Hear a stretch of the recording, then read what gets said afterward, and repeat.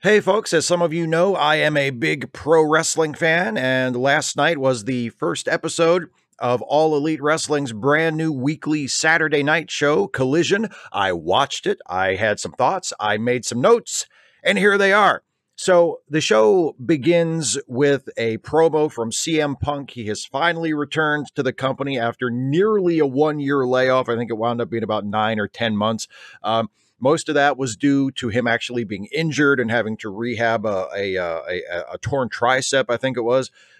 But there was also a lot of backstage stuff that happened. He got into a fight with several of the other wrestlers, and he had just given a press conference where he talked a lot of shit about a lot of people that work for the company, like as a shoot, not just as part of not as part of a wrestling angle. Like he was you know telling the truth and making a lot of people very uncomfortable and making a lot of people look very bad um so this was his first time back on TV since then. And great promo from CM Punk. I thought it was terrific. He refers to a lot of that real life stuff. Um, and to his heat with the Young Bucks and Kenny Omega and Adam Page, uh, without talking about it directly. And by doing it that way, he doesn't alienate the casual viewers who don't know or care about stuff that goes on behind the scenes. I know a lot of times internet wrestling fans like myself, people who are really hardcore into it, forget that there's a huge segment of wrestling fandom who just watch the shows and then when the wrestling show is over they go do something else with their lives. Like they're not thinking about wrestling after the wrestling show is over. It's just a thing they watch because they enjoy it and that's it. So a lot of the fans don't really know or care about the backstage stuff. So punk crafted his promo in such a way that he was talking about it, but not talking about it so directly that people who don't know about it or don't care would feel left out. So it, it didn't remind me of like a late stage WCW shoot promo, right? Where in, in the final year or so of WCW, you would see wrestlers come to the ring on national TV and talk about stuff that had never been mentioned on the TV show that only internet wrestling marks knew about and there's you know thousands of people in the arena there just sitting on their hands looking at each other not knowing what the hell you know Billy Kidman is talking. Why is Billy Kidman mad at Hulk Hogan? Like we have no idea. Nobody knows because it's purely an online thing that they chose to make a thing on the show without any kind of setup or explanation at all. So Punk's promo did not do that. He was angry, he was funny, he was defiant. He was feeding off of the crowd, which was his hometown crowd. They were in Chicago. Um, he was thanking the people for supporting them while also challenging them and provoking them. He said that uh, if anybody in the crowd thinks that he owes them an apology, then here's his apology. He's sorry that the only people softer than them are the wrestlers they like. Again, saying some of these things that without without coming across fully as a heel. He was just, he was himself. He was angry. He was defiant. He was CM Punk. He was saying, Hey, I'm me. I'm the top star in this company and tell me when I'm telling lies. And the truth is, whether you like him or not, I happen to like him quite a bit, but whether you like him or not, it's true. He is the biggest star in the company by quite a ways. Um, so you know you can hate him, you can like him, but you can't deny the fact that he's the he's the biggest star and the top draw in the company, and he set some stuff up again, not explicitly, but through hints and through references to working with MJF again. MJF is currently the AEW World Champion. MJF and Punk have actual history on the show in front of the camera, not behind the scenes, and MJF versus CM Punk, it makes sense because that's really the only match the company can put together right now um, that is uh, big enough to headline their Wembley Stadium show that they have coming up at the end of August. Uh, so, if that is indeed the plan to start building to Punk versus MJF for the world title in the main event of All Out at Wembley Stadium uh, at the end of August, that's a very smart decision. And this seems to be the start of that. So that was terrific. And then cut to the end of the show. The main event was CM Punk wrestling for the first time in nine or 10 months. It was him in a six man tag with FTR versus Samoa Joe, Juice Robinson, and Switchblade Jay White. Crowd was absolutely nuclear. The crowd was great all night. Chicago is one of the only remaining legitimately great wrestling cities where you can just count on having a great crowd every single time. And of course, they were super hot for Punk. Uh, the match was really well laid out. They made the people wait for the Punk versus Samoa Joe segments because Punk and Samoa Joe have so much history, and it has been, I think, close to 20 years since they've actually been in the ring together. So this the Joe versus Punk stuff in the match, especially, was really well done and felt like a big deal. And they worked like they have real animosity towards each other. Like they really don't like each other. And and there's a lot there was a lot of aggression between them in their segments. Finish was really good. Uh, Joe has Punk trapped in the coquina clutch, his finishing hold, his submission hold. Punk uh, looks like he's fading. He's going to be forced to tap out or pass out. FTR are trying to get in to break it up, but Juice and uh, Switchblade are holding them back, and then finally they break free and they're able to uh, to to save Punk, and then eventually, uh, like a minute after that, uh, Joe tags out. Juice tags in and ends up getting pinned. He takes uh, FTR's finish and then gets to his feet and takes Punk's finish to go to sleep and gets pinned, and that's the end of the match. Good finish. I didn't like the fact that in order to break free from Juice when he was holding him back, uh, Cash Wheeler hits Juice with a tornado DDT on the outside of the ring. And then within a few seconds, Juice has to get up from that devastating move back on his feet and run back to his corner so he can get tagged in by Joe to take the fall for the finish. That felt a little wrong to me. Um, but in terms of the drama and the anticipation, uh, especially with the build up to the save to get Punk out of the submission hold, it was really well done. And again, the crowd was super hot for everything. It was it was a very very good match.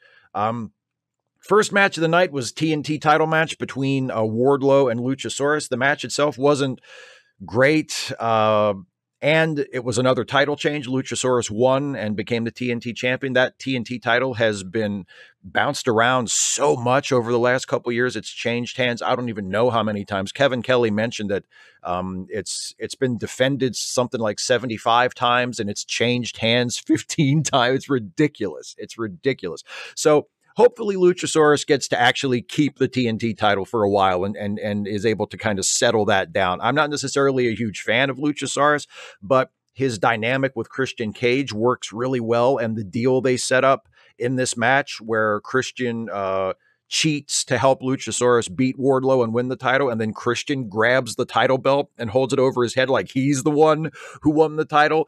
If that's the angle that they go with with these two, where Luchasaurus is actually the champion, but Christian Cage is the heel manager who's acting like he's the champion. I think they could have something there. So hopefully they are allowed to sort of run with that for a while and see if that works because I, I, like that in theory. Um, Miro is back, one of my favorite guys from a couple years ago uh, who then disappeared for a variety of reasons. He comes back and gets basically a glorified squash versus Tony Nese. Felt like this took a little bit longer than it needed to, but they gave Tony Nese a little bit of time on the microphone before the match, which gave him a chance to give people a sense of who he is more so than I think he's ever gotten in AEW, at least in a spot where people might have been watching. And Miro comes out looking like a killer. You know, he ends up killing this guy, which is good, which is what Miro needs to be presented as. He needs to be presented as as a big, brutal, almost impossible to beat guy. And hopefully, uh, they stick with it with Miro, and hopefully they also present Powerhouse Hobbs the same way when he gets to wrestle on the show uh, at some point in the near future. Because that's also, I think, the way Hobbs should be presented. It's just a, a fucking killer. Um, there was a match between Andrade and Buddy Matthews. I didn't think the match was that great, but it was very hard hitting and the crowd was super into it. So, you know, I can't really complain about that. There was a women's tag team match, uh, Toni Storm and Ruby Soho versus Willow Nightingale and Sky Blue. That was a good match. I'm finally starting to see something in Sky Blue. I haven't really seen it in her before. I know some people have been really high on her and think that she's a great young talent. I haven't thought she was bad, but I just haven't seen anything special about her. She just has seemed like one of the many interchangeable, younger, less over kind of underneath members of of the women's roster. This match, I feel like she actually broke out a little bit. She looked better than I've ever seen her. Um, part of that might have been that she was in front of that super hot crowd, which is also her hometown crowd. She's from Chicago as well. Uh, the finish, I wasn't super crazy about. Uh, the business with the spray can. Toni Storm comes in with the spray can and is going to spray uh, I think Sky in the face, and then Sky jumps out of the way or dodges, and, and Toni accidentally sprays her own partner Ruby with the can. It doesn't really make sense unless we assume that Toni just didn't care about getting disqualified and was going to spray her opponent with a spray can in full view of the referee, um, and then it just didn't work out. But uh, Sky Blue got the pin and looked good getting the pin. I'm a big fan of Willow Nightingale. I think she's fantastic. I love her look. I love her style. So it's always nice to see her being used in a very prominent spot. Um, more general comments on the show. They have a two person announce team. Thank God. And it's two announcers that we have not seen or heard in AEW before, although they are veteran announcers from other companies. It's Kevin Kelly on the play by play and Nigel McGuinness uh, in the color commentator slash analyst role. I think they both did fairly well the first time out. There were a few awkward moments with Kevin Kelly mispronouncing wrestlers' names and mistiming his throws to commercial breaks once or twice, but hopefully those will smooth out um, as just time goes on and they get more comfortable in this company and, and doing this show. A two person announce team, I think, is the way to go. I, I am not a fan of of three or four, especially person announced teams. I think, especially like a four person announced team that they've had on AEW Rampage regularly for the past many months. It's just ridiculous. Two announcers. That's all you need. You need a play by play person and you need a color commentator or an analyst.